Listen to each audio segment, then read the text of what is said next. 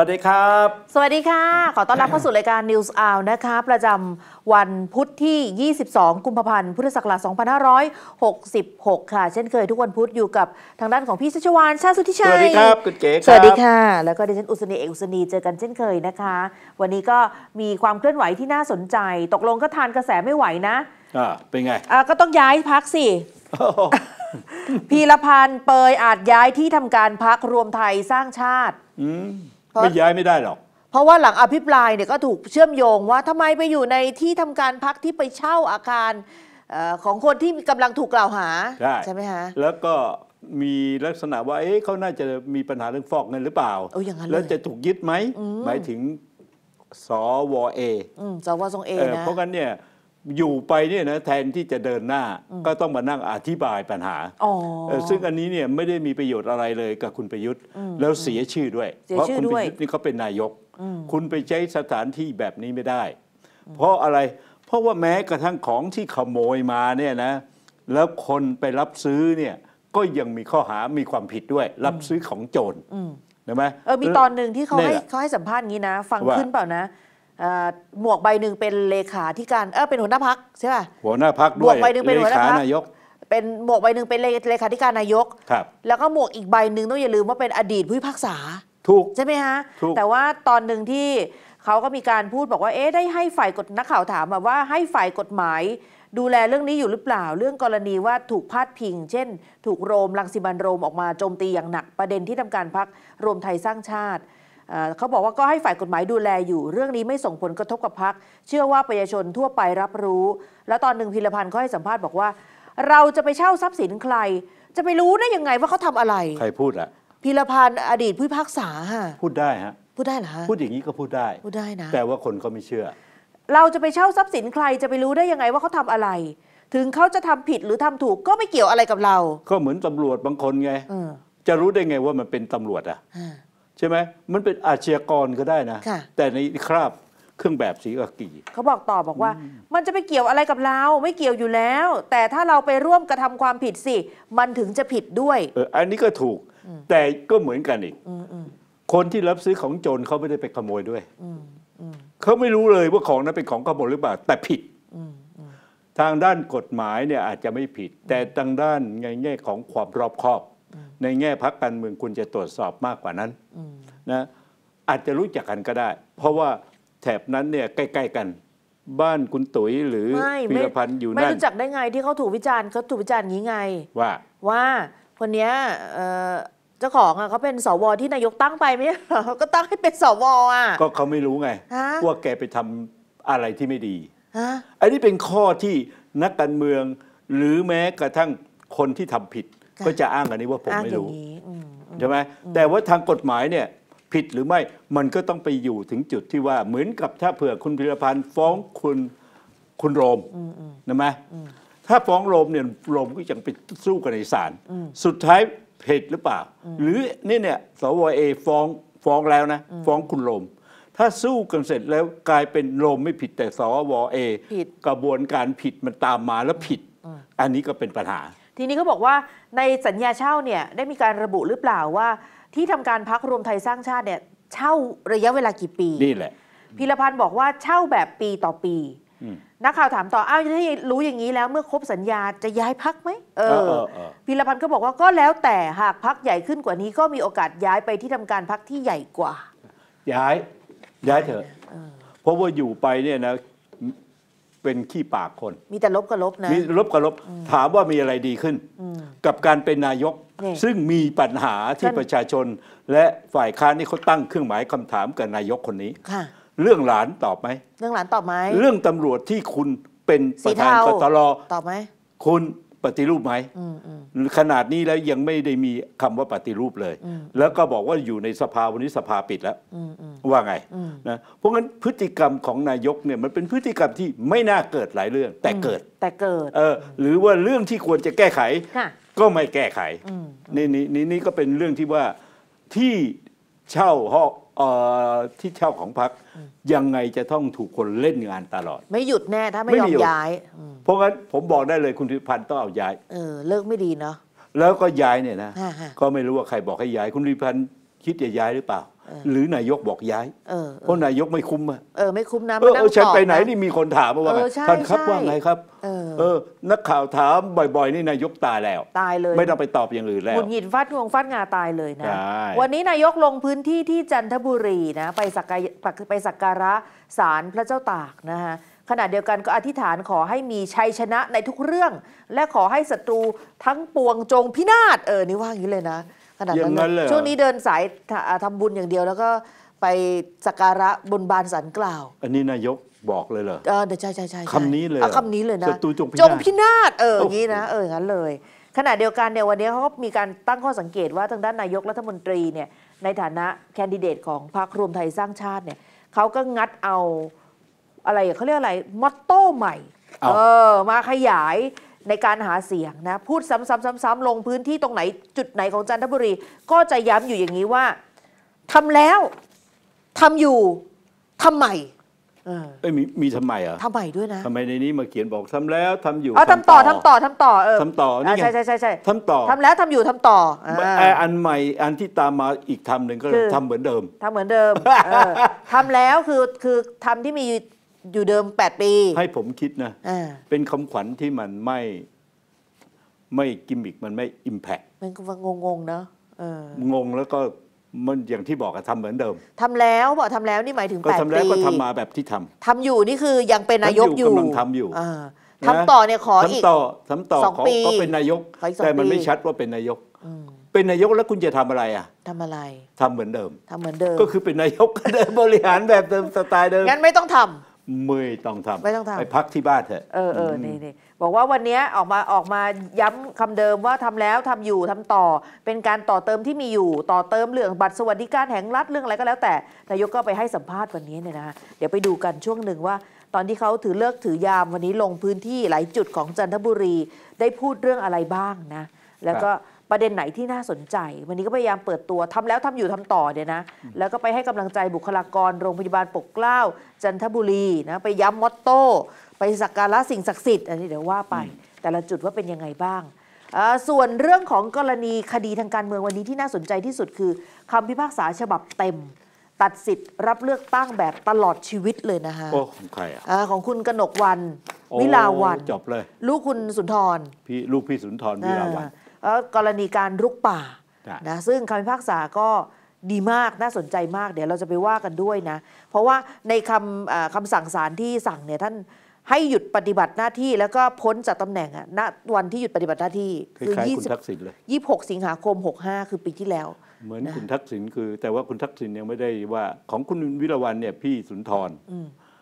เขาเรียกพ่อรังแกลูก อืมคืออันนี้ที่ดินเนี่ยพ่อให้ พ่อให้ พ่อให้ แต่พ่อได้มาไม่ถูกเหรอ พ่อเป็นอย่างนี้พ่อเป็นอย่างนี้ พ่อเป็นอย่างนี้แหละ เพราะงั้นมันมีเรื่องที่ไม่ถูก ค่ะ แล้วลูกรับไป ลูกก็เลยรับเคราะห์ ใช่ใช่ของกรณีคุณทักษิณเนี่ยเขาเรียกว่า พี่ทำร้ายน้องก่อน พี่ทำร้ายน้องอืม แล้วในขณะเดียวกันทำร้ายน้องสองคนด้วยนะ อืมอืม เพราะน้องสองคนในคนหนึ่งเป็นอดีตนายกเหมือนกัน อืม แต่อีกคนหนึ่งเป็นขาใหญ่ในพักใช่ไหมนี่นี่ทำร้ายน้องก่อน แต่ในขณะเดียวกันนี่ทำร้ายครอบครัว ครอบครัว เพราะว่าชื่อของชินวัตรเนี่ยจริง ๆ ผมก็รู้จักเพื่อนๆ พี่ๆ หลายคนเนี่ยมีคนในตระกูลชินวัตรที่ต้องต้องบอกว่าเป็นคนที่คนชมว่าเป็นคนดี อ่า เป็นนายทหารค่ะ นะ แต่ในขณะเดียวกันในคุณไปเฉพาะคุณทักษิณเนี่ยเขาเรียกการเป็นนายกแทนที่จะเป็นโชคลาภและได้สร้างชื่อเสียงให้วงตระกูลกลับกลายเป็นเอ่อคำพูดตอนก่อนจะเป็นนายกก็คือรวยแล้วจะไม่โกงอืมแต่พอเป็นนายกนี่นะโคตรโกงอืมอืมนะระหว่างเอ่อทางรัฐบาลประยุทธ์กับรัฐบาลทักษิณยังไม่รู้นะว่าใครโกงมากกว่ากันหรือ ใครเป็นคนโกงหรือใครโกงกันแน่ แต่ทักษิณนี่ตัวนายกเลยอืมที่มีปัญหาจนต้องหนีคดีความค่ะแล้วก็หนีคุกตารางไปอยู่ต่างแดนอืมนี่แหละนะแล้วก็ในคำพิพากษาวันนี้ที่เปิดมาเนี่ยศาลฎีกาท่านเออนอกจากจะให้ออกพ้นจากตำแหน่งแล้วเนี่ยท่านก็ยังให้เอ่อเพิกถอนสิทธิ์สมัครรับเลือกตั้ง ตลอดไปใช้คำนี้เลยนะ ตลอดไปเลยนะอ๋อเออหมดแล้วจบละสิทธิ์รับเลือกตั้งคือตลอดไปคือตลอดชีวิต ไม่ต้องตลอดมายุ่งชีวิตไม่ต้องมาคือทำการเมืองเออผมผมคิดว่ากรณีนี้นะอ่าเป็นกรณีคลาสสิกว่าตลอดชีวิตนะอืมอืมยังมีคนลุกป่าที่เป็นนักการเมืองอีอีกกหลายมากคนอีกมาก เหมือนคุณปรีนาเนี่ยอืมอืมจะตลอดชีวิตหรือเปล่า เหมือนกับคุณผู้เอ่อรัฐมนตรีกระทรวงศึกษา เข้าใจว่าของคุณปรินานี่จะมีระยะเวลากำหนดค่ะเออ ก็นี่นะสิแต่อันแล้วนี้ทำไมคนนี้ไม่มีกำหนดอัอะนนี้คือถอนสิทธิ์สมัครรับเลือกตั้งตลอดไป ไม่มีสิทธิ์ดำรงตำแหน่งทางการเมืองใด ๆ อันนี้ไม่แน่ใจนะ และให้เพิกถอนสิทธิ์เลือกตั้ง คือไปใช้สิทธิ์เลือกตั้งอะสิปีอ๋อ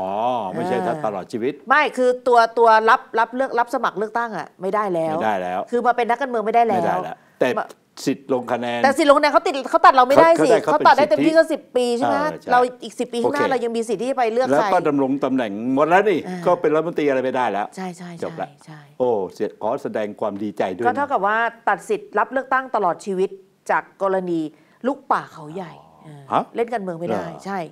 อุทขอยานแห่แสงดงชาติความเขายิใหนญ่ดีด้วยครับ ค่ะ เพราะไม่เหนื่อยแล้ว เพราะเขาไปเพราะเขาไปเอ่อสืบเนื้อหาเนื้อในเนี่ยเขาบอกว่าคนที่เขาอ้างว่าเขาไปซื้อต่อ มันไม่มีตัวตนเอา แล้วที่อ้างว่าไปครอบครองโดยมีการไปปลูกพืชอะไร มันไม่มีอยู่จริงเอ่อตอนอภิปรายเนี่ยยังมีเรื่องของโฉนดบินอืมสนุดบิน คือมันเอามาใส่จากที่อื่นหรือเปล่าค่ะอันนี้ก็เป็นปัญหา แต่ว่าเอาว่าเอาว่าดีแล้วล่ะ สบายใจแล้ว ก็ถือว่าเป็นจุดจบชีวิตการเมือง จุดจบเลยชีวิตกันเมืองแล้วท่านก็สบายแล้ว ไม่ต้องไปถูกเขาด่าอีกแล้ว ใช่ไหมเพราะว่าออกไปแล้วนี่เออเออเหลือพ่อนะ พ่อเนี่ยอ่า สุดสุดท้ายก็ถ้าถ้าเปิดฝ่ายค้านแล้วพักของพ่อเขาเกิดมาเป็นรัฐบาลนะค่ะก็อาจจะโดนแหละ เพราะว่าอะไรไหมนี่เลยนี่ก็คือเอ่อเขาเรียกอะไรไหมประวัติศาสตร์ที่บันทึกเอาไว้อืมว่าเรื่องของนามสกุลนี้นะพ่อให้ที่ดินลูก ลูกเอาไปลูกสวยนะถ้าเป็นพ่อแล้วก็พ่อสวย พ่อรู้สึกจะเป็นอบจอ๋อใช่ตอนหลังเพราะว่าอะไรไหมตอนหลังคนเป็นอบจเยอะค่ะ เป็นสสเนี่ยหาตังค์ยากถ้าไม่ได้เป็นรัฐมนตรีอืมอืมแต่เป็นอบจนี่เงินในบางที่นี่เยอะเลย เยอะกว่าจะมาเป็นสสเอาละอันนี้เราโปรยๆไว้ก่อนนะ เดี๋ยวช่วงต่อๆไปเดี๋ยวเราจะเอาเนื้อในมามาพูดมาพูดครัมาบคุยกัน แต่ก่อนอื่นขอไปเริ่มที่ข่าวนี้ไหมวันนี้เขาก็พูดกันทั้งวันเลยนะว่าโอ้หลังจากที่ไปแสดงฝีมือสร้างผลงานในการอภิปราย แต่ไปไปๆมาๆเนี่ยพักเก้าวไกลหวั่นจะแตกหรือเปล่าใช่ไหมคะน่าห่วงเพราะว่าโอ้โหอยู่ในอาการโคม่าทีเดียวหลังจากที่ทางด้านของเอ่อ แกนนำพักว่างี้ดีกว่า กับหัวหน้าพักฟาดกันผ่านโซเชียล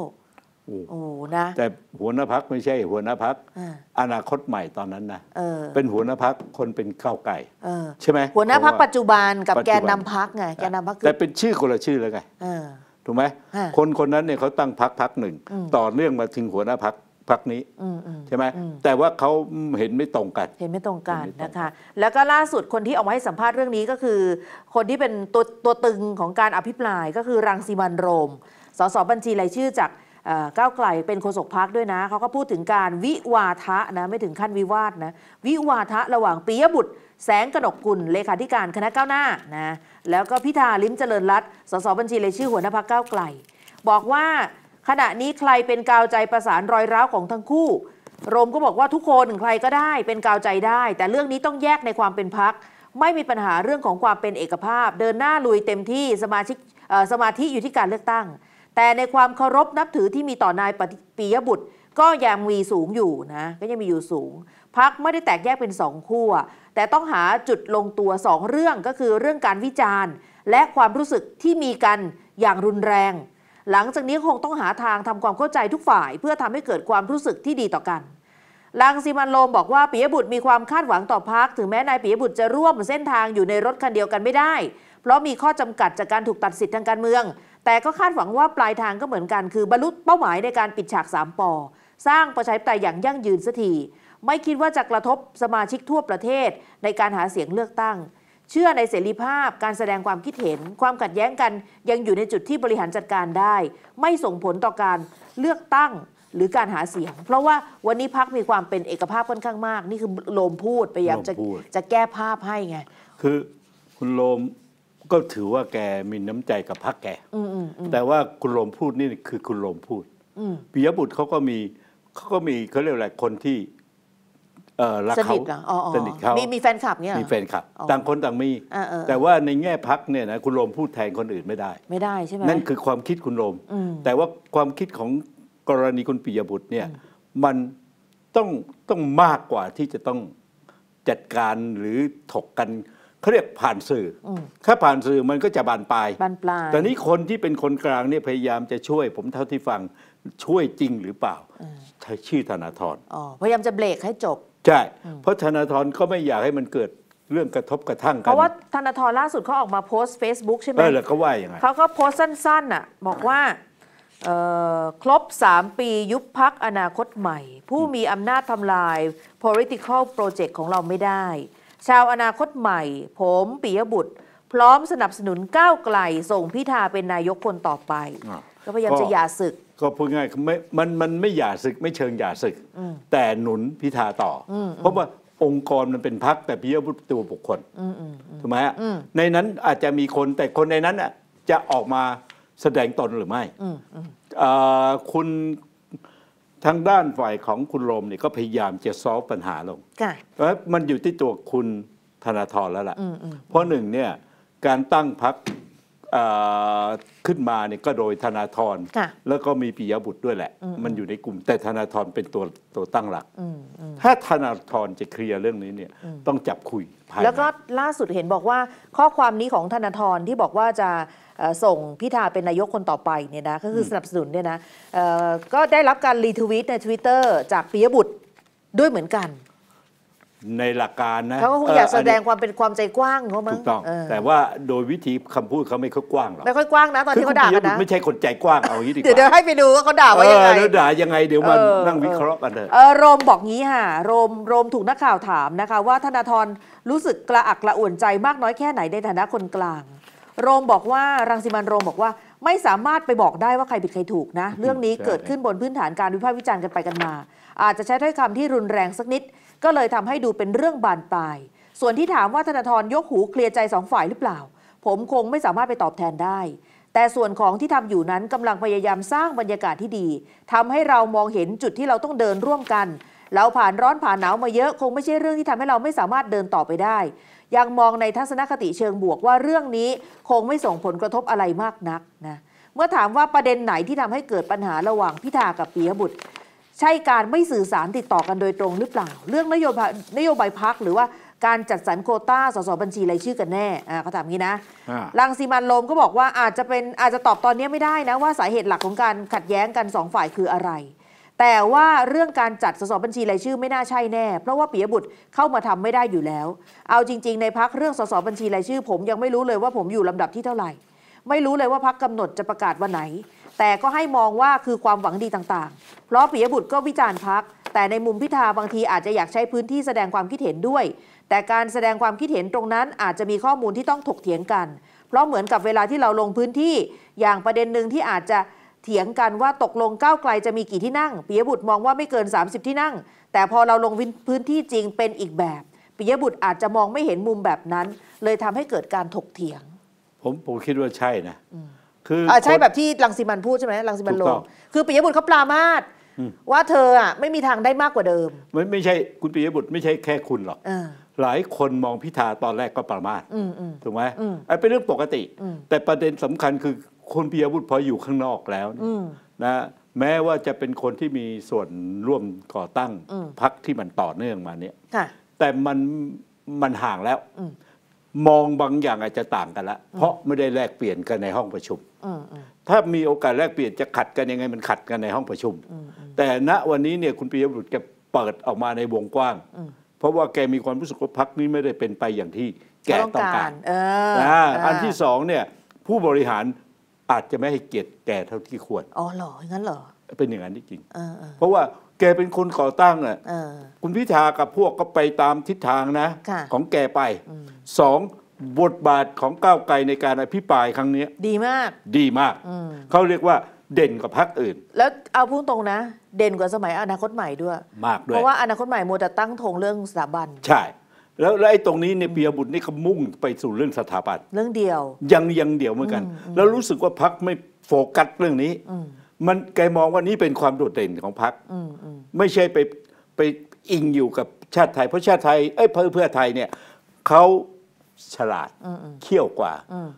เขาทีแรกก็จะเป็นเล่นแนวนี้เหมือนกัน แต่ตอนหลังถอยออกมาอืมอืมเพราะว่าไม่คุ้มค่ะแล้วไม่ใช่ปัญหาหลัก ปัญหาหลักก็คืออย่างที่ก้าวไกลในการอภิปรายครั้งเนี้ยคือปัญหาเด่นๆ พวกนี้ต่างหากปัญหาของชาติบ้านเมืองและประชาชนค่ะ แต่คุณปิยบุตรเล่นตามแนวคิดของแก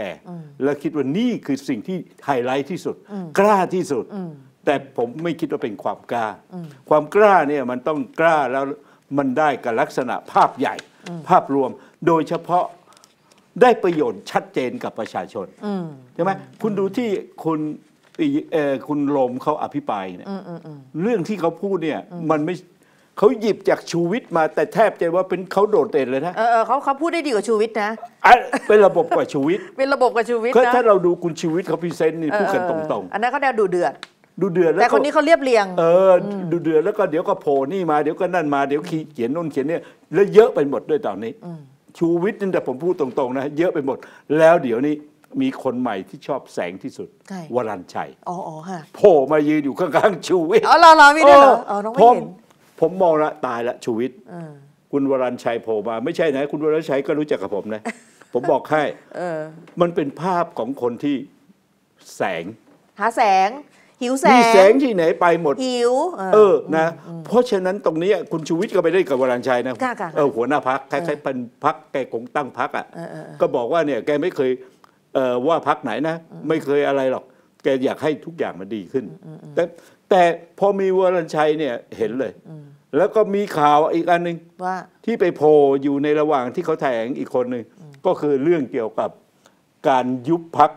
แบบเทอร์โบอืมอืมอืมอืมของอดีตกกตคุณนั่นอะอืมอืมเอ่อแกไปยืนอยู่ด้วยอ๋อฮะเพราะงั้นคุณวรันต์ชัยมานี่แสดงว่าคุณชูวิทย์ไม่ใช่เป็นผลดีกับคุณเลยอืมอืมนี่แหละ เพราะงั้นเนี่ยผมก็คิดว่ากรณี ของพรรคก้าวไกลอะค่ะวันนี้มันไม่ได้ทิศทางการเมืองมันมีการปรับเปลี่ยนเออเออแล้วไม่ไปตามทิศทางของคุณปิยบุตร เราไปดูเหตุแห่งการฟาดปากก่อนหน่อยไหมลองดูฮะว่ามาเป็นยังไงนะว่าเออสมควรโกรธหรือเปล่า คือมันเริ่มมาจากทางด้านของปียบุตรเนี่ยเขาก็มีการลงบทบทวิเคราะห์ การเลือกตั้งที่กำลังจะเกิดขึ้นใช่และจุดยืนของก้าวไกลนะ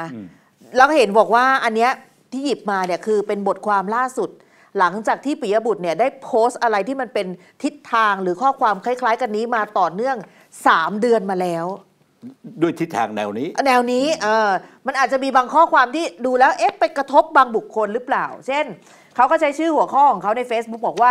แลนสไลด์ที่พักก้าวไกลแก้ไม่ออกนะเขาบอกว่าอันนี้ย่อๆนะอ่าบอกได้ว่าประชาชนจำนวนมากตอนนี้ต้องการเปลี่ยนแปลงรัฐบาล อยากจะเปลี่ยนตัวนายกนะเขาก็ยกผลโพลบอกว่าตอนนี้โอ้โหร้อยละ 60 อยากเปลี่ยนรัฐบาล และจะใช้การเลือกตั้งครั้งนี้นี่แหละ เป็นเครื่องมือสำคัญ การรณรงค์ให้ลงคะแนนแบบยุทธศาสตร์ เพื่อให้เพื่อไทย landslide เนี่ยก็ต้องยอมรับว่าประมาณว่าตอบโจทย์ ตอบโจทย์เนี้ยที่อยากเปลี่ยนรัฐบาล คือคนก็มองว่าเนี่ยมันเป็นแนวคิดที่กำลังแพร่หลาย และกำลังได้รับการยอมรับอันนี้ปิยบุตรพูดปิยบุตรบอกว่าถ้าไปดูผลโพลตอนเนี้ยเพื่อไทยกับคะแนนของอุ๊งอิ๊งเนี่ยสูงมาก ซึ่งดิฉันไม่รู้ว่าเขาไปดูตรงไหนนะอุ๊งอิ๊งสูงนะแต่คะแนนเพื่อไทยโอสูงจริงก็เป็นไปได้เอ่อเอออุ้งอิงสูงเพราะเพราะว่าไม่อยากจะบอกว่าสื่อจำนวนไม่น้อยนะอืมกับคุณทักษิณหรือเครือข่ายเขาสนิทกัน เขาสนิทกันอืมอืมนะเขาบอกว่าในภาพรวมทั้งประเทศ หรือทุกพื้นที่หรือแม้กระทั่งภาคใต้เนี่ยเพื่อไทยกับแพทองทานก็มาสูง แล้วเขาก็หันมาแขวะพักตัวเองบอกว่าสำหรับพักก้าวไกลเนี่ยคะแนนนิยมอยู่นิ่งอย่างนี้มาปีเศษแล้ว เออ แล้วก็ไปหยิบยกนิดาโพลนะบอกผู้อำนวยการนิดาโพลเนี่ยวิเคราะห์ไว้ในรายการหนึ่งบอกว่า คะแนนก้าวไกลเป็นน้ำเต็มแก้ว ไม่เพิ่มไม่ลดไม่ว่าเกิดเหตุการณ์ใด เวลาผ่านไปเท่าไหร่ก็อยู่ได้แค่นี้แหละเออประมาณนี้นะอ่าอยู่ได้เท่านี้เออ มีพูดประมาณนี้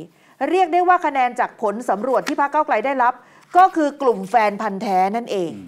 หากพรรคก้าวไกลต้องการคะแนนมากกว่านี้ ต้องการมีสสแบ่งเขตเลือกตั้งให้มากกว่านี้จำเป็นต้องแสวงหาคะแนนจากกลุ่มคนที่ไม่ตัดสินใจ หรือกลุ่มที่ตัดสินใจเลือกพรรคอื่น จะได้คะแนนส่วนนี้เนี่ยเพิ่มมาก้าวไกลต้องแก้ปมเรื่องแลนสไลด์ให้ได้นะเขาว่าอย่างนี้นะ บอกว่าคนจำนวนมากที่เป็นแฟนพันธ์แท้เพื่อไทย ย่อมลงเลือกเพื่อไทยทั้งสองใบ แต่ก็มีคนอีกจำนวนมากที่เขารักเพื่อไทย แต่ก็เห็นประโยชน์ของการมีก้าวไกล คนจำนวนมากที่รักสองพักก็มี คนจำนวนมากที่เห็นด้วยกับสิ่งที่ก้าวไกลทำแต่คิดว่ายังเป็นการต่อสู้ระยะระยะยาวก็มี หรือคนจำนวนมากที่ชอบก้าวไกล แต่ไม่คิดว่าชนะได้ในเขตเลือกตั้ง และไม่คิดจะชนะเป็นแกนนำจัดตั้งรัฐบาลได้ก็มี คนเหล่านี้อาจจะเลือกสสเขตของเพื่อไทย และแบ่งมาลงคะแนนบัญชีรายชื่อให้กับก้าวไกล ทั้งหมดนี้เป็นผลพวงจากความคิดเรื่องแลนสไลด์เขาก็วิเคราะห์บอกว่าไอ้แบบเลือกตั้งใหม่เนี่ยแบ่งเขต 400 เขต บัญชี 100 100 ที่คือ 400บวก1ใช่ไหมฮะอ่าก็ทำให้คะแนนแบบแบ่งเขตของผู้ที่ไม่ได้รับลำดับที่1เนี่ยจะถูกทิ้งน้ำไม่เหมือนปี 62 ที่ตอนนั้นเนี่ยเอามาคำนวณเป็นสสทั่วประเทศหมดครับนะคะอ่า ปิยบุตรบอกว่าด้วยความคิดแบบนี้หากเพื่อไทยกับก้าวไกลแข่งกันเองในเขตเลือกตั้ง ก็มีคนคิดว่าอาจจะทำให้แพ้ทั้งคู่ จนประยุทธ์หรือพรรคอื่นที่อยู่อีกขั้วเนี่ยชนะไป ดังปรากฏให้เห็นในหลายเขตการเลือกตั้งปี 62 ประกอบกับสวิตช์สว 250 ยังไม่ถูกปิด คือยังออกฤทธิ์ออกเดชได้อยู่ ทั้งหมดนี้ทำให้ประชาชนที่ต้องการเปลี่ยนรัฐบาล เลือกที่จะเลือกเพื่อไทยสองใบ หรือเลือกเพื่อไทยในแบบเขต เลือกก้าวไกลในแบบบัญชีรายชื่อ หากสถานการณ์และอารมณ์ความรู้สึกของคนส่วนใหญ่ยังเป็นเช่นนี้เขาก็บอกปรามาสไว้เลยบอกว่า ถึงวันลงคะแนนเนี่ยก้าวไกลก็จะได้สสเขตน้อยมาก และได้ส่วนแบ่งจากบัญชีรายชื่อมารวมยอดสสทั้งหมด ไม่เกิน 30 ที่เขาเขาพูดอย่างนี้ ก็เขาอาจจะถูกหรือผิดก็ไม่รู้เออเพราะว่ามันยังไม่มันยังไม่ได้แต่การลงกล่องเลย ใช่แต่คะแนนแต่เขาอาจจะติดอ่าตรงตรงฝั่งของตัวเอ่อ พิธาเองอาจจะมองว่า แล้วทำไมไม่มาคุยกัน ไปเขียนลงสื่ออย่างนั้นทำไมไอ้ไอ้นี่คือถ้าพูดกันอย่างแฟร์ๆนะอ่าคุณปิยบุตรไม่ค่อยแฟร์คือคุณเขียนทำไมอะเออเออเออคุณคุณคุณตั้งพรรคนี้มาเออพรรคถูกยุบไปแล้วหนึ่งครั้งค่ะคุณไม่ได้เป็นกรรมการบริหารไม่มีบทบาทที่แสดง action ในแง่แสงแต่ไม่ไม่สื่อสารทางอื่นแต่สื่อสารผ่าน public คือความถนัดเขานะเขาชอบแล้วก็เขาชอบนะเออเขาชอบ เขาชอบสไตล์นี้แต่ทางการเมืองเนี่ยเออโดยจริง ๆ แล้วไม่ควรทำแบบนี้ ไม่ควรทำแบบนี้ แต่ประชาชนได้ประโยชน์นะแล้วก็จะได้รู้ใช่การไหทำอย่างนี้ว่มันองทำให้เรายังไงเออเราเห็นว่าเฮ้ยก็คนในพักอย่างที่คุณยังมองอย่างนี้พิธาเลยบอกอะคนในเออพักเลขาอดีตเลขาพักพูดอย่างนี้บ่อย ๆ เนี่ยเออเออมันเสียหายเออเออเสียทำให้คนเชื่อเออนะและใช่ทำให้เกิด ไอ้ความเป็นสามัคคีภายในพักมันไม่แน่นแฟนใจเสียด้วยใจเสียอ่าทีนี้ประโยคต่อไปเด็ดกว่านั้นอะเออต่อนะมันก็มีใส่อารมณ์อยู่บ้างบอกว่าโอ้โหอันนี้เป็นประโยคในใน Facebook ของคุณปียบุตรเนี่ยนะเขาบอกว่า หากพักก้าวไกลไม่คิดอะไรมากอืมได้เท่าไหร่ก็เท่านั้น รอบนี้ขอเกาะพักเพื่อไทยเป็นรัฐบาลไว้ก่อนก็พอ พักก้าวไกลก็ไม่ต้องไปแก้ไขอะไรหรอก ไม่ต้องไปคิดยุทธวิธีใหม่ ประคองตัวเองจนจบเลือกตั้ง และถ้าไม่มีสัญญาณแปลกๆ ใดออกมาขัดขวาง หรือรวมเสียงฝ่ายค้านเดิมเพียงพอ พี่ใหญ่ก็คงจะเมตตา ชวนน้องเล็กไปร่วมรัฐบาล แล้วแบ่งรัฐมนตรีให้สักสองสามที่ นี่ใครพูดปียบุตรปียบุตรเหน็บเพื่อนแรงมากเลยแหมไม่ดีเลย ไม่ดีเลยใช่ไหมถ้าใจผมนี่ดีนะผมไม่ได้อยู่ก้าวไกลนะมันเป็นซุ้มเสียงที่ไม่ใช่มิตรเขาคุยกัน มันไม่ใช่มิตรอืม คือมันกระแนกกระแหนด้วยอืมอืมเออแต่ก็เป็นบุคลิกของปิยบุตรเขาเป็นอย่างนี้แหละอืมอืมเขาไม่พูดอะไรตรงๆ บางครั้งก็พูดตรง คือผีเข้าผีออกคือประชนหดอะประชดอะนึ่งเป็นคนที่ผีเข้าผีออกคนหนึ่งเดี๋ยวเดี๋ยวเดี๋ยวไม่จบนะไม่จบนะอะต่อแต่ถ้าพรรคก้าวไกลต้องการเสียงมากกว่านี้จำนวนสสมากกว่านี้ก็ต้องพิสูจน์ตัวเองว่า แนวคิดแนวทางที่ทำกันมาตั้งแต่อนาคตใหม่ เป็นสิ่งที่ถูกต้องประชาชนเห็นด้วยมากพรรคก้าวไกลก็ต้องคิดแก้ปมปัญหาแลนสไลด์ให้ได้ เขาก็บอกมาเลยว่าต้องทำสองข้อคือหนึ่งทำให้คนจำนวนมาก เชื่อว่าพรรคก้าวไกลมีโอกาสชนะในเขตเลือกตั้งสูง ไม่ใช่พรรคเพื่อไทยพรรคก้าวไกลจะเข้าที่หนึ่งไม่ใช่ที่สองหรือที่สามหากทำให้คนจำนวนมากเชื่อได้ เขาก็จะมาเลือก เพราะคะแนนนี้ไม่ทิ้งน้ำไม่เปล่าประโยชน์ แต่ก็จะทำให้พรรคก้าวไกล ชนะสอสอเขตได้ ข้อหนึ่งนี้ที่ฉันคิดว่า อันนี้ส่วนตัวนะรู้สึกคุณปียบุตรมองโลกสวยไป สสเขตเขาไม่ได้มาจากความเชื่ออย่างเดียวใช่ไหมคะมันต้องเงินถึงด้วยใช่ไหมเออฮะ มันหลายอย่างเออองค์ประกอบมันต้องประกอบด้วยหลายอย่าง ฮะ ไม่ใช่เงินถึงอย่างเดียว เออหัวคะแนนอีก หัวคะแนนการจัดตั้งอีกเออนะอันที่สามเนี่ยนโยบายที่คุณเสนอไปโอเคไหมค่ะเขาไปขายต่อได้ไหม หัวคะแนนไปผลักดันต่อได้ไหมอืม นะผมบอกให้ส่วนหนึ่งของการเลือกตั้งนะคือการข่าว อืม การข่าวที่มันโดยผ่านสสอืม ผ่านนโยบายเนี่ยอืมนะอืมอันนี้เป็นเรื่องสำคัญมากอืมเพราะมันไม่ได้ไปแค่พูดอืมมันไปเพราะมีตะตังค์จ่ายอืมอืมมันจะทำให้เกิดความเชื่อ และเกิดมั่นใจว่าเฮ้ย อันนี้เขาจะทำนะพักนี้จะทำอันนี้นะ อันนู้นจะทำนะอืมถ้าไม่ทำเนี่ยนะชาวบ้านก็แค่นั้นแหละค่ะจบละอืมและไอการที่จะทำให้เพื่อให้ก้าวไกลสามารถล้มเพื่อไทยในในส่วนของโอ้ยสสเขตโอ้เป็นใครอย่างที่ปิยบุตรคิดไหม อีกไกล อีกไกลเนอะปิยบุตรไม่รู้วันนั้นเนี่ยทำอะไรอยู่แล้ว เออเออเออเพราะว่าโดยทิศทางของกรณีของเพื่อไทยเนี่ยอืมมันมีความเป็นมาของมันโดย อนาคตช่วงแรกของทักษิณที่เป็นนายก คือเขาปูมายาวกว่า เขามีพื้นมายาวเขทำเอะกว่า สองเขามีเงินมากกว่าคุณเขามีตังค์เอแล้วอเงินของเขาเนี่ยใช้เป็นมากกว่าคุณ เออเออของคุณใช้ไม่เป็นอะ เออเออเออถ้าใช้เป็นเนี่ยคุณควรจะได้มากกว่านั้นแล้ว เออเออคุณได้ต้องยอมรับความจริงอันนั้นก่อนเลยเออ ไทยรักษาชาติถูกยุบเออ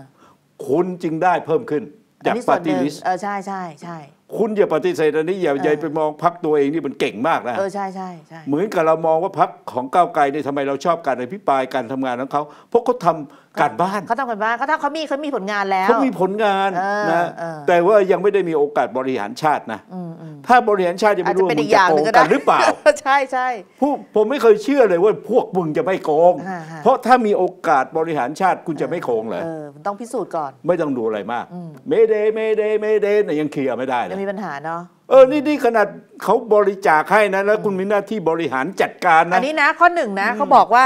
ก้าวไกลต้องพยายามหาโอกาสให้คนเชื่อว่าก้าวไกลจะชนะสสเขต เหนือเพื่อไทย ยาก ไม่มีทาง ยาก ยากนะ แล้วเราไม่ใช่ยากธรรมดาเออยากมาก คือแค่พูดเดี๋ยวพูดไงก็ได้ แต่คนทำไปยาก คุณปิยบุตรอะแกถนัดพูดถนัดแกพูดเป็นนะอาจารย์เออใช่ไหมเออแล้วแล้วแกแกก็พลิกพลิกพริ้วเออในสิ่งที่แกคิดค่ะแล้วแกก็ฉลาดเสนอสองขีดเส้นแบ่งใหม่ ไม่ใช่ฝ่าย ไม่เอาประยุทธ์เอาประยุทธ์ ไม่ใช่ฝ่ายประชาธิปไตย ฝ่ายเผด็จการแบบเดิมๆ แต่ให้ไปปลุกใหม่ว่าให้สู้ระหว่างพลังเก่ากับพลังใหม่ คือจะรวมเอาเพื่อไทยเนี่ยเป็นพลังเก่าด้วย แล้วสถาปนาตัวเองพักก้าวไกลเป็นพลังใหม่ เอออันนี้ผมส่วนตัวนะเออเออเออผมเห็นด้วย อันนี้ก็ดีนะแนวคิดอันนี้ดีเออไอ้อันนี้ปิยบุตรไม่ใช่ผมวิจัยคุณเออเออเดี๋ยวผมชมคุณอันนี้ใช่ใช่ เพราะว่าไม่มี พักไหนมันเป็นประชาธิปไตยจริงเลยมึงอย่ามาพูดเลย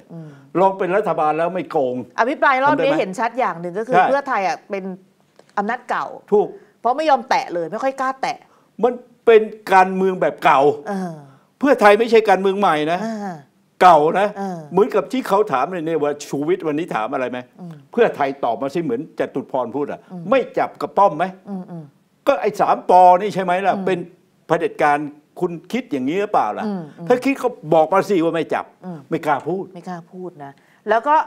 เขาก็เขียนต่อบอกว่าต้องสร้างความแตกต่างของตัวเองออกจากทุกพักทุกขั้วสร้างความเชื่อมั่นให้ผู้คนว่าการเลือกตั้งครั้งหน้าต้องเทคะแนนให้พลังใหม่ เพื่อนำไปสู่การเปลี่ยนแปลง ให้คนจำนวนมากตระหนักว่าการเลือกตั้งครั้งนี้คือความใฝ่ฝันถึงสังคมใหม่ในอนาคต ไม่ใช่วนเวียนอยู่กับเรื่องเอาทักษิณไม่เอาทักษิณเอาประยุทธ์ไม่เอาประยุทธ์วนเวียนอยู่กับปัญหาเดิมที่ล้อมสังคมไทย กักขังไว้ตั้งแต่ปี 49 หากเลือกเส้นทางนี้การทำแคมเปญกำหนดยุทธวิธีการคิดคำประดิษฐ์คำทำ motto ชูคำขวัญให้เดินตามสองข้างต้นคงไม่ยาก คงไม่เหลือบ่ากว่าแรงของคณะทำงาน แต่การเมืองก็อยู่ที่ความเชื่อ ผู้คนจำนวนมากต้องเชื่อก่อนว่าทำได้จริง หลังจากนี้คือกันแน่กันไหนอีกแล้ว อีกรอบว่านะเอาต่อให้คิดแคมเปญได้ดีเลิศขนาดไหน แต่ถ้าคนไม่เชื่อ แคมเปญนั้นก็เป็นเพียงบันทึกเก็บไว้ใน portfolioปัญหาจึงมีอยู่ว่า ผู้นำพักก้าวไกลมีศักยภาพเพียงพอจะทำให้คนเชื่อ ว่าพักก้าวไกลจะชนะการเลือกตั้งในการในเขตเลือกตั้งได้หรือไม่ อันนี้ก็คือปรามาสเขาทิ้งท้ายก็ใช่อ่าเออมีความสามารถเพียงพอหรือเปล่าจะทำให้คนเชื่อ ต้องมีพรรคก้าวไกลเป็นตัวแทนของพลังใหม่ในสังคมในการเปลี่ยนแปลงประเทศรอบนี้ จะทำได้หรือไม่ เพราะเหลือเวลาอีกแค่ 3 เดือน คืออันแรกก่อนนะอืมอืมอันนี้ปียบุตรนะ ที่ปิยบุตรพูดถึงเรื่องความเชื่อออันนี้ก็จริงนะอืม เพราะว่าในโดยแม้กระทั่งในหมู่มาร์กซิสนั้นเลนิน หรือแม้กระทั่งเหมาเนี่ยก็คือเอ่อความเชื่อนั่นเองอืมอืมอืมกับความศรัทธาอืมนะอืมเอ่อไอความเชื่อเนี่ยมันต้องอาศัยเหมือนกับเขาบอกไงเหมาเจ๋อตึงนี่ก็จากชาวนาอืมแต่ว่าเป็นนักอ่านเป็นนักเขียนอืมเป็นนักพูดนะเป็นนักทฤษฎีอืมไอ้ทั้งหมดนี่ก็เพื่อ จะทำลายอีกฝ่ายหนึ่งค่ะด้วยความเชื่อนั่นเองค่ะแต่มีเหตุผลเนี่ยนะไอ้ความเชื่อไม่ใช่ลอยๆ เหมือนในคุณปิยบุตรแกเชื่อว่า แกจะปฏิรูปเจ้าหรือจะทำอะไรกับเจ้าเนี่ยอืมอืมแกเชื่อของแกอืมใช่ไหมแล้วนี่ความเชื่อนี้นี่ไม่ใช่ความผิดแกนะแต่เป็นความผิดเพราะไม่ตรงกับประชาชนส่วนใหญ่เขาไม่เอาด้วยอืมอืมใช่ไหมแต่เด็กไม่ทันนี่ค่ะเด็กก็ฟังปิยบุตรแล้วอาจารย์นะเว้ยอาจารย์นี่แกมีความรู้นะ เออแก แหมเมียก็ฝรั่งซะด้วยนะไอ้สิ่งเหล่านี้เนี่ยคนก็เชื่อในระดับหนึ่งของแกว่าแกเป็นอาจารย์ค่ะแต่ว่าในขณะเดียวกันนี่พอมาปฏิบัติไอ้ตรงจุดนี้ทำให้ก้าวไกลหรืออนาคตใหม่เดือดร้อนเลย คุณเห็นไหมว่าแม้กระทั่งคุณช่อไปหาเสียงยังโดนคนไล่ค่ะใช่ไหมคนขับรถมาเพื่อจะมาไล่อย่างเงี้ยนะคือมันตะท้อนให้เห็นว่าสังคมไทยกับความคิดของปิยบุตรเฮ้ยมันคนละเรื่อง นะอันที่สองเนี่ยเราเห็นจากผลของมัน ผมว่าก้าวไกลเนี่ยแม้กระทั่งธนาธรก็คิดแต่แกไม่พูดหรอก คุณพิธาเนี่ยแกเห็นอยู่แล้วว่า เฮ้ย ถ้าเดินไปเรื่องเกี่ยวตามแนวของปิยบุตรเนี่ยนะอบจไม่ได้สักคนอืมอืมเห็นไหมลงสมัครในพื้นฐานข้างล่างนี่ไม่ได้ได้ไม่ได้ชนะเลย แต่ทำไมเพื่อไทยเขาปรับตัวเร็ว เมื่อก่อนเขาก็มามาแข่งกับเพื่อนเอ่อ ก้าวไกลนะ เพื่อจะเดินเรื่องเกี่ยวกับปฏิรูปสถาบันวันนี้เขาถอยเลย ไม่ทำเพราะเขารู้แล้วนี่ว่ามันไปไม่ได้ คนของเพื่อไทยเนี่ยมันอยู่ในชนบทนะเขารู้เลยว่าคนรับหรือไม่รับแล้วสิ่งที่พิสูจน์ก็คือเกิดม็อบมาเยอะแยะเลย ของคนรุ่นใหม่ในช่วงเขา แล้ววันนี้หายไปหมดอืมไม่ใช่หายเพราะอะไร เพราะว่าไอ้สิ่งที่คุณนำไปเนี่ยมันนำไปสู่ความผิด กฎหมาย แล้วก็ต้องเข้าคุกเข้ามันไม่ได้ตารางเกิดการเปลี่ยนแปลงจริงอนาคตหมดเลย จากความเชื่อคุณปิยบุตรอืมจากการปลุกปั่นนะเนาะความเชื่อของเขามาปลุกปั่นเด็ก เด็กไม่มีความรู้พแต่อตัวเขารอดนะ เอารู้ยังโคตรเอาตัวรอดตัวเลเขายรอดนะ ไม่เคยผิดกฎหมาย เออเออเขาเด็กแต่เด็กติดคุกแต่แต่เขารอดยุเด็กตลอดอะเออเออเออผมใช้คำนี้ผิดหรือเปล่าคุณปิยบุตร ยุเด็กเออยุเด็กด้วยคำพูดด้วยความรู้เออที่คุณมีเออแต่ไม่ใช่ว่าถูกทุกเรื่องนะเออก็เหมือน คุณคุณสนที่เขาพูดออกมาชัดเลยนะ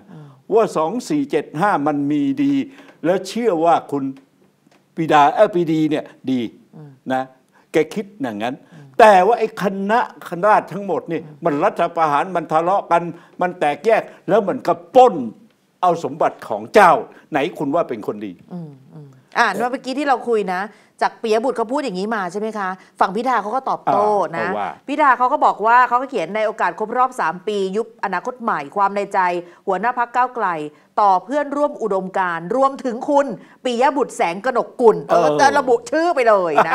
เขาก็เท้าความว่าเออตอนที่เขาถูกนำพาเข้ามาเนี่ยเขาเนี่ยเอ่อก็มาอยู่ในช่วงที่อนาคตใหม่ลำบากมากอ่าถูกคดีความต่างๆ นานาฮะจะถูกยุบพักฮะทางด้านฝั่งของเปียบุตรไปจีบเขามาอืมให้มาเป็นหัวหน้าพักในวันที่ไม่มีใครอยากเป็นใช่ไหม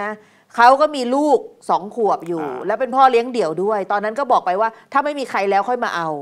เพราะว่ามันก็ต้องเสียสละอะไรหลายๆอย่าง แล้วก็ยังมีหน้าที่บทบาทความเป็นพ่อด้วย เขาก็บอกว่าหลังจากนั้นเขาก็นำพาพักเนี่ยให้เป็นอันดับหนึ่งที่คนบริจาคภาษีให้มากที่สุด 4 ปีซ้อน มีจำนวนสมาชิกพัก 70,000 คน เดินทางไปเอ่อพบเจอประชาชนอะไรต่างๆ นานา เขาก็ย้อนเหตุการณ์ที่ผ่านมานะจนกระทั่งผ่านคดีความ แล้วสุดท้ายเขาบอกตอนหนึ่งบอกว่าเอ่อธนาธรเนี่ยเคยพูดตำนองว่า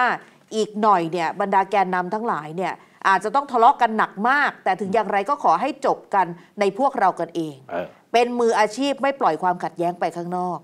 พิธาก็หยิบตรงนี้มาพูดเลย บอกว่าน่าเสียดายที่กับปิยบุตรเนี่ยต้องมาสื่อสารกันทางนี้ ทั้งทางๆที่ก็เดินเจอกันตามตึกบ่อยๆนะเออ เออนะ เหมือนกับเจออดีตกรรมการบริหารพรรคคนอื่นๆ แต่บางครั้งคุณปิยบุตรนัดผมทานข้าวแล้วแคนเซิลผม อ๋อ จริงๆ ก็เกิดขึ้น 3-4 วันก่อนที่คุณปิยบุตรจะตัดสินใจสื่อสารความคิดหรือด่าผ่าน Facebook เนี่ยนะเนี่ยแหละ เออในช่วงสองสาเดือนที่ผ่านมา แล้วก็บอกว่า สิ่งที่ปิยบุตรพูดเนี่ยเรื่องกว่าการเมืองคือความเชื่อศัตรูร้อยคนพูดร้อยครั้งไม่น่าเชื่อ เท่าปิยบุตรพูดซ้ำๆในฐานะอดีตเลขาธิการพักทุกอย่างเป็นเรื่องของอนาคต จะจริงไม่จริงไม่รู้แต่ว่าคำพูดมันมีน้ำหนักไปแล้ว คือคนเชื่อถือ ก็ปิยบุตรไม่ใช่คนโนเนมซะที่ไหนอ่าอะบอกว่าพูดอะไรไม่เท่ากับใครเป็นคนพูด อะไรที่เป็นความเชื่อจะกลายเป็นความจริง แล้วความฝันของคนหลายร้อยคนที่ทำงานอย่างหนักอาจจะต้องมาสูญเปล่าถูก แล้วเขาก็บอกว่าเนี่ยตอนนี้อีก 3 เดือนเนี่ยจะเข้าสู่การเลือกตั้งอยู่แล้วพักก็กำลังเข็นครกขึ้นภูเขาสู้กับอำนาจรัฐอำนาจทุน ด้วยทรัพยากรที่จำกัดก็แปลว่าไม่ค่อยมีตังค์ใช่ถูกไหมถูกอ่าเราค่อยๆ วางแผนทีละเขตที่มีโอกาสชนะอย่างละเอียด อาสาสมัครกำลังทำงานผาสมาชิกเพิ่ม ทีมจังหวัดเราเตรียมจัดงานตั้งแต่ตีห้าทำพื้นที่ล่วงหน้าต่างๆ นานา ในฐานะที่เป็นผู้นำพักเชื่อว่าทุกคนเนี่ยรับการวิจารณ์ได้ ผมก็โดนมาตลอด 3 ปี เข้าใจว่าเป็นอิสรภาพของการแสดงออก ผมเป็นคนฟังแต่ยังไม่เชื่อ แต่ถ้าถึงขนาดมาจากคนที่เคยขอร้องให้ผมมารับตำแหน่งเป็นหัวหน้า ในวันที่ไม่มีใครรับ ผมก็ต้องมาทบทวนกันใหม่กับเวลาที่เหลืออยู่นะทั้งเรื่องการทำงานของกองอำนวยการเลือกตั้ง แล้วก็บทบาทของตัวเองนะแล้วเขาก็บอกว่ามีคนกล่าวไว้ว่าถ้ามีเวลาตัดต้นไม้ 6 ชั่วโมง จะใช้เวลารับขวานนานถึง 4 ชั่วโมงในขณะที่ทบทวนตัวเองและทำงานกองอำนวยการเลือกตั้ง ยังมีเวลาอีก 3 เดือน ที่เหลือหรือว่าน้อยกว่า ก็เห็นว่ายังมีความเป็นไปได้อยู่ 2 ทาง ที่ปิยบุตรเนี่ยต้องไปทบทวนเช่นกันหนึ่งปิยบุตรต้องเลิกมือไม่พายเอาเท้าลานน้ำสักทีอันนี้คือด่านี่เขากลับพูดตรงเออๆเขาพูดตรงเออแล้วแต่ปียบุตรจะคิดได้หรือเปล่า คิดได้ไหมเออ คุณต้องเลิกมือไม่พายเอานะเอาเท้าลาน้ำสักทีเลิกทำตัวไม่เป็นมืออาชีพแบบที่ธนาธรพูดด้วย เออ กลับมาช่วยกันทำเท่าที่กฎหมายอนุญาต ทำให้คนที่เคยปรามาสอนาคตใหม่ก้าวไกลคิดผิด และอนุญาตให้ผมและอีกหลายร้อยชีวิตที่พักเนี่ยมีสมาธิในการทำงานโค้งสุดท้าย คือเลิกพูดสักทีอะไรอย่างเงี้ยนะเออเลิกพูดข้างนอกสองปล่อยให้เราเสียสมาธิจนลืมไปว่าศัตรูตัวจริงของเราคือใคร ทิ้งโอกาสในการสู้ศึกเลือกตั้งครั้งนี้ ทิ้งหยาดเหงื่อแรงงานของสมาชิกพัก ทีมงานพัก ปล่อยให้สามปอยังสืบอำนาจต่อไป ผมไม่แน่ใจว่าคุณปิยบุตรจะทำแบบนี้ไปอีกเท่าไหร่ ผมว่าพอได้แล้วครับ มาเปลี่ยนประเทศไทยเอ่อมาเปลี่ยนแปลงประเทศนี้ไปด้วยกัน ถึงแม้ว่าจะต่างคนต่างทำก็ตามนี่ไม่จบแค่นั้นอะมีอะไรต่อเอาปิยบุตรด่ากลับอีกอะไรไหนไหนไหนเออนะฟังฟังเขาก็บอกว่าเขาเพิ่งได้อ่านที่พิธาเขียน พิธาเนี่ยเขียนเอาดีเข้าตัว เอาชั่วให้ผมโอ้โหว่างั้นนะโอ้โหเออนะแล้วเขาก็บอกว่าที่พิธาเนี่ยเขาบอกว่าเขาไม่อยากพูดถึงพิธาเลย พยายามวิจารณ์พักอย่างตรงไปตรงมาไม่แตะตัวบุคคล แต่พิธาก็ให้เกียรติโพสต์สื่อสารถึงเขาโดยตรง ก็เสียก็ถือเสียว่าพิธาคงอยากคุยในที่สาธารณะใช่ไหมเออ ฉะนั้นก็ต้องต้องจำเป็นต้องตอบโต้โดยละเอียดทุกประเด็น เออ แล้วจะได้รู้กันสักทีว่าพิธาเนี่ยเอารัดเอาเปรียบพวกผมทีมงานพนักงานทีมจังหวัดทั่วประเทศสสผู้สมัครอย่างไร เออโอ้ใครกันแน่มือไม่พายเอาเท้าลาน้ำและใครกันแน่จับเสือมือเปล่า โอ้ยมีคำนี้ด้วยนะโอ้ลายลายลายคือด่าใส่ว่าแบบว่าเออ มาเป็นหัวหน้าพักแต่ไม่ลงทุนใช่ไหมปักปักจัดที่มากเลยนะเข้าใจนะเข้าใจนะเขาก็บอกว่าอะไรนะ เมื่อวานเย็นนัดกินข้าวกับเพื่อน ก็มีคนมาบอกว่าพิธาโพสต์ตอบโต้ บอกให้ผมใจเย็นๆ ผมเองก็ไม่อะไรจนเจอทะเอ่อธนาธนาธรแล้วก็ชัยธวัฒน์ก็ลำลึก 3 ปี ยุบพักกันไปนะ แล้วก็พอเปิดดูที่พิธาเขียน โอ้โห เอาดีเข้าตัวเอาชั่วเข้าผม ไอ้นั่นเรื่องเล็ก ผมมาเป็นนักการเมืองเจอวิจารณ์กันแบบนี้มา จะมาใจเสาะแบบคุณพิธาไม่ได้อ๋อเออก็ว่างี้นะ แต่ที่น่ารังเกียจกว่าคือการเขียนขาวเป็นดำดำเป็นขาวซะมากกว่า จนทำให้พนักงานทีมงานทั่วประเทศ อึ้งไปตามๆกันว่าพิธาเป็นผู้นำเพื่อนร่วมงานกว่าร้อยชีวิต แล้วผมเป็นคนที่ไม่เป็นมืออาชีพ มาทำลายก้าวไกลอย่างที่พิธาพูดจริงหรือเปล่า เขียนขาวเป็นดำดำเป็นขาวว่าคุณพิธาเป็นอะไรนะพระเมสีอาใช่ไหมมากอบกู้พักส่วนผมเป็นพวกทำลายพักอย่างนั้นเหรอเอออ เมื่อไหรก็ตามที่สื่อติดต่อให้ผมไปคุยหรือวิจารณ์กับก้าวเรื่องก้าวไกล ผมปฏิเสธทุกครั้งไม่ต้องการให้บานปลาย ถือซะว่าผมเป็นคนนอกวิจารณ์เข้ามา ก็ใช้เพจของผมเขียนไปเรื่อย ไม่ขยายความดราม่าผ่านสื่อต่างๆ แต่นับจากนี้ไป ผมจะเขียนอธิบายยาวๆไปเรื่อยๆ พร้อมทั้งจะไปออกสื่อด้วยว่าพิธาทำอะไรบ้าง เออโอ้ว่างี้นะ ยืนยันว่ารักสนับสนุนก้าวไกลก้าวไกลเป็นพรรคที่จำเป็นในสถานการณ์เปลี่ยนผ่าน แต่เขาบอกว่าเขาก็พร้อมที่จะออกมาอ่า เพราะว่าอะไรเพราะบอกปล่อยคุณพิธาแบบนี้ต่อไปไม่ได้ เป็นไงคะพี่ เห็นสัญเห็นสัญญาณความเอาอย่างนี้ ความล้มสลายหรือยัง ผมนี่เป็นคนที่วิจารณ์พรรคก้าวไกลเยอะอ่าคนหนึ่งนะเออเออไม่ได้หมายความว่าคนอื่นไม่นะไอ้สิ่งที่ผมวิจารณ์เนี่ยก็คือว่าเพราะไปรับบางอย่างจากปิยบุตรมาอืมอืมโดยเฉพาะเรื่องเกี่ยวกับสถาบันสถาพบันระมหากษัตริย์ นี่นี่เป็นเรื่องที่หนึ่งก่อนอืม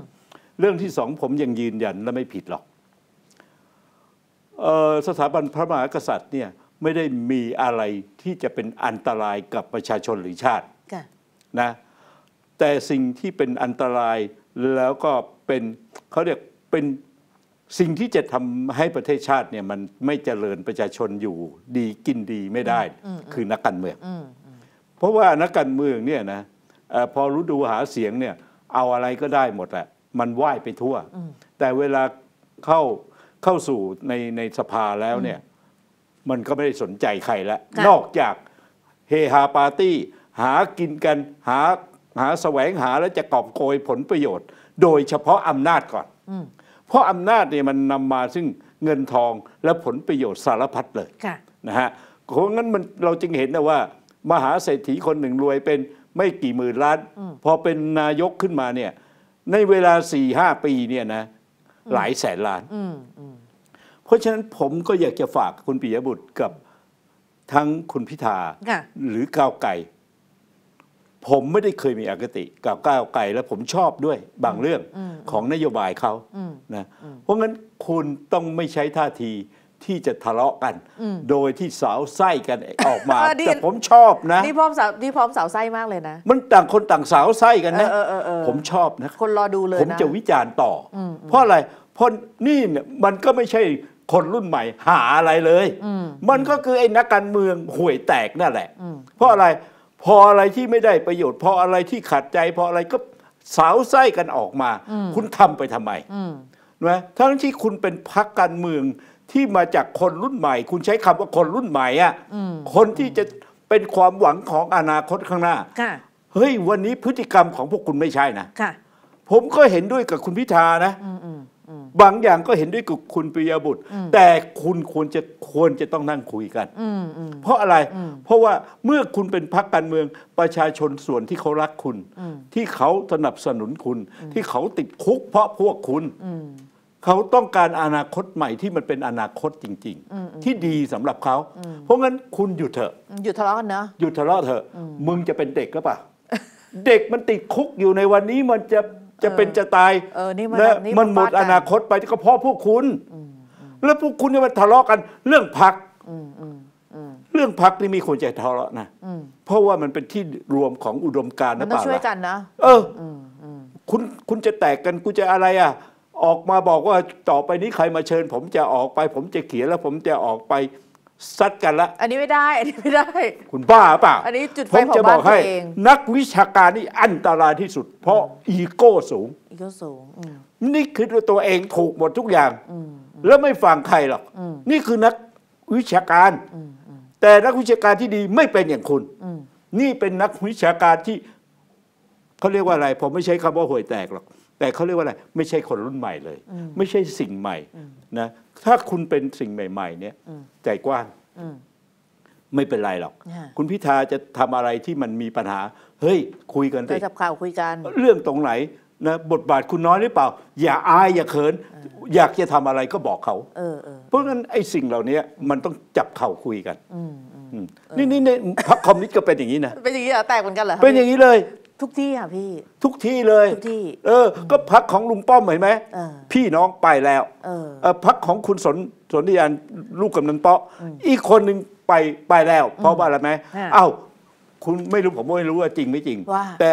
คุณสนธิยาพี่คนโตค่ะไปกระซิบเขาว่าไปบอกกับลุงตู่ว่าจะเอาเมียเป็นรัฐมนตรีแทนน้องอ๋อ น้องก็โมโหดิเอาจริงป้านี่นี่เรื่องจริงเหรอพี่ นี่เป็นข่าวพูดกันไปทั่วเลย ผมไม่รู้ว่าจริงไหมแต่น้องยังไม่เห็นในหน้าหนังสือพิมพ์นะ มีโอ้พี่เต็มเนี่ยเลยพูดจริงป่ะคุณวัฒนานามนุ่วมครับอ๋อเราว่าไงนะ ตกลงว่าที่พี่น้องเขาคนละทางพี่คอนเวิร์ตเนี่ย ไปหาเขาว่าเขาพี่ว่าไปคุยคุยกับคนของคุณประยุทธ์หรือคุณประยุทธ์นี่แหละ ว่าว่าว่าว่าจะเปลี่ยนรัฐมนตรีเออเอกเอกวัฒนธรรมเออมาให้เมีย อ๋อเหรอ เอาเขารักเมียใช่ไหมแล้วเป็นไงน้องก็น้อยใจดิน้องน้องก็น้อยใจน้อยใจว่าอะไรรักเมียเออมากกว่าน้องเอาอย่างนั้นน้องในไส้นะเออนะ ก็เลยบอกจะขอทำงานกับคุณประยุทธ์ก็เลยไม่แยกคนละไม่ที่เข้าไปในระบบที่พี่บอกว่าจะย้ายคุตาณมจะมาฟังใครอืม ที่พูดกับหมาแก่ว่าจะฟังใคร ระหว่างผมเนี่ยครอบครัวผมเนี่ยคุยกันแล้ว จะออกจากพักแล้วก็มาอยู่รวมกันไปพักไหนก็คือไปเพื่อไทยอ๋อค่ะนี่น้องไม่เอาแล้วไม่เอาแล้วเออเพราะว่านี่คือเรื่องผลประโยชน์ไงเห็นไหมเรื่องรัฐมนตรีเก้าอี้เก้าอี้เก้าอี้แล้วแล้วเมียของคุณคุณเอ่อพี่คนโตนี่ก็เคยเป็นรัฐมนตรีกระทรวงนี้มาเหมือนกันอ๋อเหรอฮะเอออเคยนั่งมาแล้วเนาะเอ้ยเคยเป็นมาแล้วอ๋อเพราะงั้นเนี่ยเรื่องนี้เนี่ยนะเออผมพรรคเก้าวไกล น่าเสียดาย น่าเสียดายนะเพราะว่าเนี่ยจากการอภิปรายหลายคนมีคุณภาพนะเอ่อแต่ว่าถ้าทะเลาะกันแบบเนี้ยสะท้อนให้เห็นเลย นี่คือนักการเมืองที่ใช้ไม่ได้จะไม่ได้ ใช้ไม่ได้ เพราะอะไร เพราะว่ามันควรจะคุยกันดิเรื่องประเด็นของพวกคุณมันคืออะไรวะอืมอืมใช่ไหมเรื่องเออเออคุณพิธาแกบริหารมีมีไอ้ไอ้เส้นได้ออกไปก็บอกว่ามันเป็นเผด็จการมันไม่ใช่ประชาธิปไตยนี่ก็หนึ่งแล้วนะ เอ้าเขามาเขาอ้างว่ามีโปลิตบูโรนอกนอกพักสั่งแบบมา เดียวกับเขาเรียกว่าห้องแอร์อ๋อเหรอนักรบห้องแอร์นักรบูบริบูโรไงเออเออเออใช่ไหมใครจะลงที่ไหนที่ไหนอะไรอย่างเงี้ยเออเออเพราะฉะนั้นเรื่องนี้เนี่ยนะเป็นเรื่องปกติค่ะของพรรคการเมือง ค่ะผมไม่เคยไม่เห็นพรรคไหนจะมาทะเลาะกันเรื่องนี้นะเออเออ เพราะงั้นมันถึงมีคนแตกจากพรรคนี้มาเข้าอีกพรรคหนึ่งค่ะค่ะเอาว่าคุยกันเถอะ เออ ยังไงเนี่ยนะพักก้าวไกลเนี่ยก็มีแฟนคลับเขา เออ คุณต้องเห็นใจเด็กเยาวชน ที่เขาอุตส่าห์นะอุเขาทิศตนออไปกแล้วมานะต่อสู้ขนาดนี้นะเออเออมึงทะเลาะกันทำไมแค่นี้แหละจริงมึงเออทะเลาะกันทำไมเออใช่ใช่มึงเป็นความหวังของเขาเออเออมึงเอาเขาออกมาสู้ แทบเป็นแทบตายแล้วก็ตีกันเองโดนเขาเรียกว่าโดนยิงทั้งสารพัดเออเออเออใช่ไหมใช่แล้วมึงมาทะเลาะกันเรื่องพักมึงบ้าแล้ว เออนะพี่ฝากคุณธนาธรด้วยนะครับ แต่ได้ข่าวว่าเขาลบไปแล้วนะ อันที่เขามาฟาดงวงฟาดงา ที่บอกว่าผมจะไปแฉทุกที่อะแค่นั้นก็สะท้อนแล้วล่ะ เสียนะไม่ดี คุณคุณปิยบุตรเออคุณรู้ไหมว่า คุณเป็นนักวิชาการที่ผมว่าใจคุณแคบเออเออเออคุณควรจะต้องใจกว้างกว่านี้วันนี้นะ เพราะว่าอะไรไหมอืมผมก็เห็นเจอนะ นักวิชาการแบบคุณน่ะอืมอืมซึ่งแก่แล้วด้วยโอ้แก่แล้วด้วยนะแก่แล้วด้วยเออนะแต่ยังเป็นอย่างคุณเลยค่ะแล้วร้ายกว่าคุณอีก ผมจะเจอมาแล้วโอเคแต่คุณอย่าเป็นเถอะอย่าเป็นนะอย่าเป็นเถอะคุณจับมือกับคุณพิธาคุณเอ่อเอ่อ คุณคุณเอาพูดง่ายๆ คนที่เป็นคนตั้งพักที่เป็นเจ้าของทุนน่ะอืมอืมอืมอย่าทำตัวเป็นทักษิณลงมาแก้ปัญหาหน่อยอืมอืมสองคนนี้เนี่ยต้องจับมือกันค่ะเอาละเอาพักกันสักครู่ค่ะยาวดี๋ช่งเลยหนะเนี่ยยาวเลยเดี๋ยวช่วงหน้ากลับมาก้าวไกลเนี่ยนี่ไงเออเรารอข่าวนี้ข่าวนี้เข้ามาพอดีอ๋อล่ะเออเขามีรายงานเข้ามาว่า ฟันทุจริต 116ตมเอื้อทุนจีนสีเทา อดีตผู้การรองผู้การตมร่วมด้วย อันนี้เป็นรายงานนะโอ้ว่าเออเออสืบเนื่องจากกรณีที่ชูวิทย์ออกมาเปิดเผยนะ ว่าตมเนี่ยตัวดีนะ ให้วีซ่าคนจีน สรุปก็จะมีการฟันมากถึง 116 นายคำถามคือที่ผ่านมาเรามีเจ้าหน้าที่ตมผิดเยอะขนาดนี้เลยเหรอแล้วอยู่รอดมาได้ยังไงเนี่ยนี่ฮะบางประเทศเขาปลดหมดเออทั้งยกแผนกหรือเปล่าทั้งจ๊ะประเทศเลยเออยกสำนักงานหรือเปล่าเนี่ย ยกเลยเป็นอย่างนั้นนะเพราะมันเขาเรียกอะไร หากินมันชั่วซะจคือนจับตรงไหนก็เน่านะเออแล้วก็ไม่รู้ว่ากูจะจะปรับเปลี่ยนอธิบดีแล้วมันจะดีขึ้นหรือเปล่า เออเออเออนะเพราะฉะนั้นเขาเลยยกเลิกเลย รวมถึงไต้องเดี๋ยวไปดูเรื่องของกรณีลุกที่ที่ทำให้ต้องหมดเอ่อชีวิตทางการเมืองนะของคุณกนกวันวิลาวันรายละเอียดที่ศาลท่านพูดอะเอ่อท่านจับพิรุษเนี่ยเป็นยังไง เดี๋ยวกลับมาช่วงหน้าค่ะเพ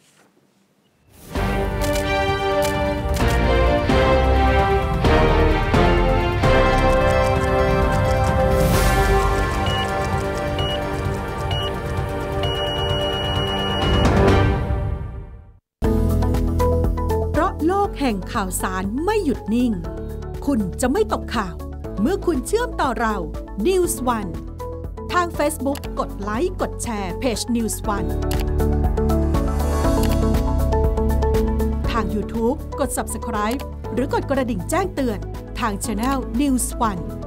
เพียงเท่านี้คุณจะไม่พลาดทุกข่าวสารสำคัญ